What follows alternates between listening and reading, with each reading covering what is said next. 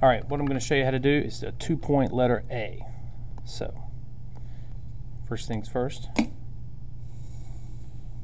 horizon line, vanishing point, vanishing point. Now, first thing I do is a vertical line, draw a box, vanishing point, vanishing point, vanishing point, vanishing point.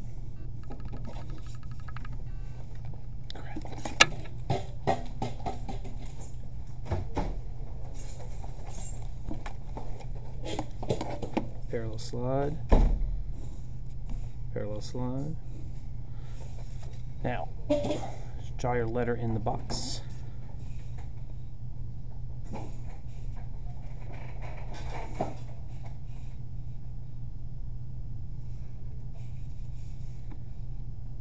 Vanishing point.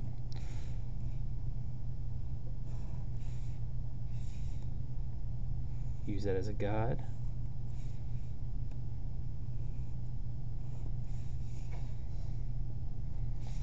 Now connect your corners to the vanishing point. One.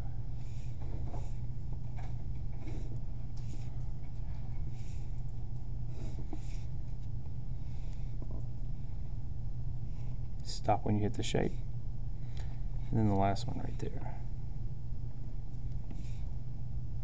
Cut it out. Parallel.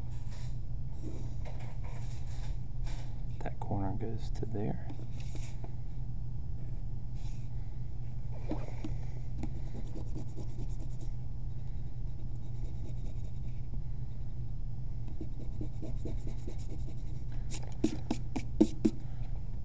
There you go.